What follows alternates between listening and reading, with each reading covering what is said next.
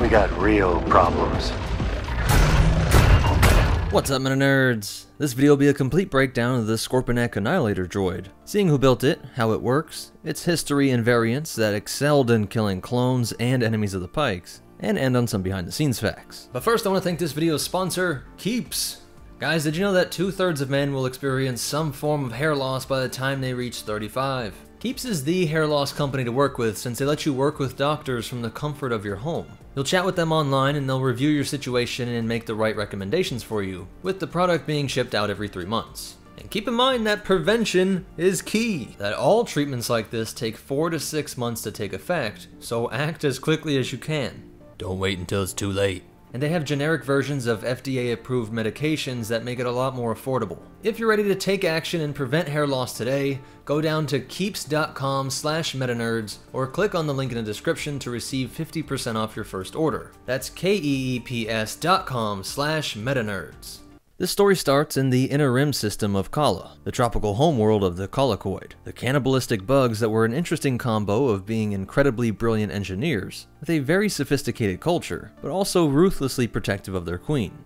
You don't have to get far into your hollow history book before you see everything descends into a near constant state of war across the countless species over every region of the galaxy. But the Colicoids were so efficient at devouring any alien visitors, and their overall insectoid look helped to add to their horrifying legend. So we don't have any reports of war coming to Colla, but their creations would play a major role in the galaxy's largest conflicts starting with the Sith war droid used by the Sith Empire, most famously used by Darth Malgus during the Battle of Alderaan, and then later seen stomping through the Republic capital during the decisive final blow of the Great Galactic War, 3,653 years before the Battle of Yavin. This design can be seen as a prototype for the Droideka and Scorpenek, and in its first iteration we see it possesses the overall shape, a pair of dual laser cannon arms, though no shield generators yet. Overall, these were a huge success, partially due to the Colicoids basing its design on their own biology. It's funny to think that these are the equivalent of humanoid Terminator-like droids for these bugs, coliconoid in shape if you will, using the billions of years of research and development trials carried out by evolution to reason that if colicoids could scale the difficult terrain of rocky mountainous regions and dense jungles of their homeworlds, this design should work for the droid as well and Darth Malgus and his generals reported back that this thing worked as advertised, across the vastly different terrains of a galaxy-spanning campaign. And it would be seen as important in both the history of war and the history of droids. And even thousands of years later, we see one in the wreck belt of Lotho Minor around 1 ABY, owned by a man that was described by Dr. Aphra as one who would, quote, take a dozen tin cans and turn them into a Death Star, but he'd sell his own mother into slavery to pay for the next fancy gizmo. He has tons of Clone Wars droids like B1s and B2s, and other stuff that I don't recognize. And really interesting is something that looks like either a Droideka variant or something Frankenstein with the lower part of a Droideka, cobbling together parts of other droids, along with a Sith War Droid antique, and he actually has several of them. The Colicoid creation nest would follow this creation up with the Eradicator series battle droid, which has the overall same body design, and would be the first to introduce a personal shielding system. After the Cold War and through to the apparent destruction of the Sith, the Colicoids kept improving their creations and selling them to anyone that wanted them. And by around 50 BBY, the private military forces that would eventually form into the CIS in the following decades would buy up the bug's greatest hits. The Drosh boarding ship, Tri-Fighter, Trident assault ship, and Proto-Deca, down to droids like the FLTCH that appears to be influenced by their insectoid competitors on Geonosis, looking like a variant of B1 and B2 battle droids, and then down to the smaller sabotage droids, the Infiltrator, that would covertly burrow into a ship, seal that hole, and then proceed to assassinate the entire crew with vibroblades and small blasters while the Pistoeka or Buzz droids would swarm on starfighters to rip them apart, and the rarer Hunter-Seeker droid which operated as a small droid starfighter. The sales of these droids was facilitated by a Muun Banker and Secret Sith Lord Hego Damask, aka Darth Plagueis. But the three that were the most similar in this era were the Droideka, T4, and Scorpenek. In that order, they were 1.83 meters or 6 feet tall, then up to 2.5 meters or 8 feet, with the Scorpenek at 3.5 meters or 11.5 feet.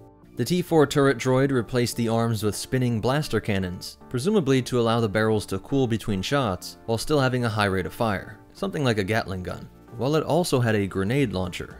All three of them would have shield generators, and the smallest was of course the lightest and quickest, the Droideka hitting decent speeds using this roly-poly method, which was based on the colicoid biology. The bugs would curl up to roll through the jungle paths.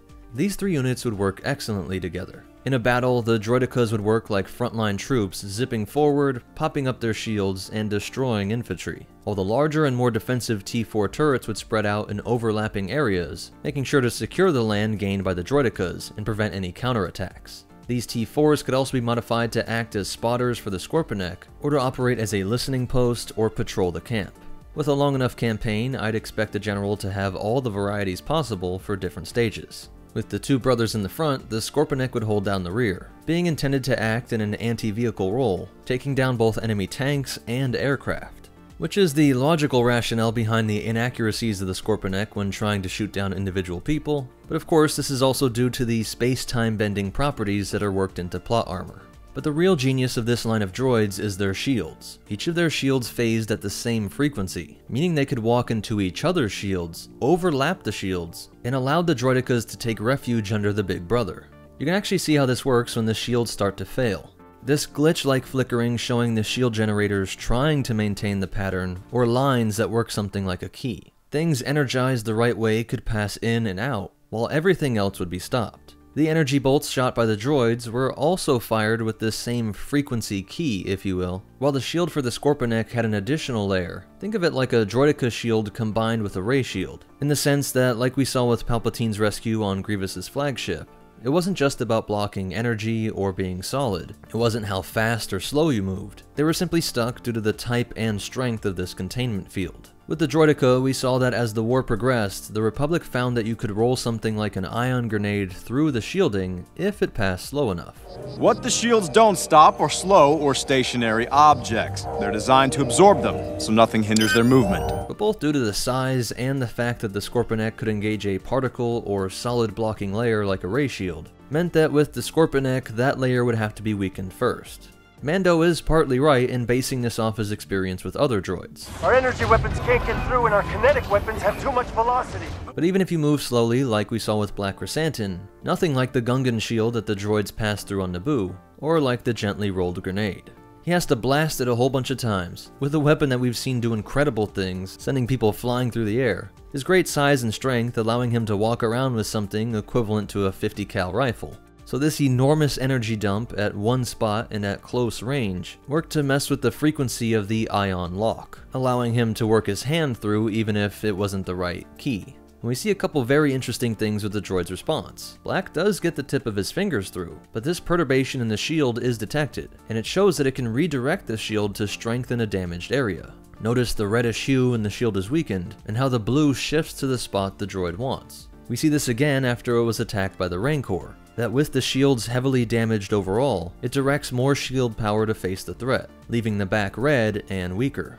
With Krrsantan, you can see that this shift is just barely a second before it is able to get everything balanced out back to a uniform coverage. But with the Rancor attack, it stays red from then on out, allowing Din Djarin to break through with now just a few Darksaber blows. This is a really cool touch because it means that working with a droid this large, the colicoids made the shields work more like a starfighter, where the pilot could focus the shielding to more protect the area they expected to be shot from. Another cool thing to notice, now that the shield is explained, is how you see a natural tendency for the pykes to want to take refuge behind the giant shielded scorpion. But they can't pass through the shield either, so they can't take advantage of that incredible feature which allowed the colicoid soldiers, or the droideka, to be able to tuck in whenever it was facing a line of fire. We can also deduce that the power supply for the shield generator is located right behind the eye, as this stab does keep the shield down, but it can still walk, the computers are fine, and it's still able to fire, as you see it just gets a bolt off as it is snatched up by the Rancor. So the power source must have been behind the eye, but the actual shield generator was located in the base. Other things I want to note is that this belt feeds power to the guns, and how we first saw the Scorpenek through Mando's helmet is how the droid sees the rest of the world. The main eye is a series of infrared photoreceptors, while the smaller one is a composite radiation sensor, which sees in a way similar to the colicoid's natural eye. By 9 ABY, during the time of Daimyo Fett, the Pykes had likely been purchasing Colicoid creations for decades. And despite the Empire's best efforts to monopolize on firepower, everyone from petty criminal to rebel leader was able to get their hands on some Clone Wars leftovers, which were impossible to fully destroy when you had a literal galaxy-spanning war with millions of units. We saw Thrawn faced rebels using buzz droids and droidekas. Vader was building a secret droid army. And so the Pykes, who only grew more powerful after the death of the entire Hutt Council, certainly had enough ill-gotten credits to get whatever they wanted. The only reason we don't see more of the Scorpenek is because the Colicoids wanted to keep them to themselves. A little surprise secret unit that would defend their homeworld of Colla 4. And like most Colicoid designs, this worked perfectly. Republic Intel tracked the source of many of the deadliest droid opponents to this obscure world, and launched what was supposed to be a quick surgical strike to destroy their massive factories. And they thought they had seen every droid variant in the galaxy thrown at them by now. But as the capital ships carried out an orbital bombardment, four platoons of troopers, each with 41 troops, or 84 total, descended on gunships to infiltrate a heavily shielded factory. They made it through the exterior walls, but as they came up on the building, they were met with this never before seen droid variant, which sprung to life and opened up with the cannons. They were surrounded, and the Scorpenek's bolts blasted through the walls the clones were trying to hide behind, eventually killing three-fourths of them. ARC Trooper Steck frantically called back to command. We don't know what it was, sir, but it took out three platoons. We can't let the Colicoids get these things off planet.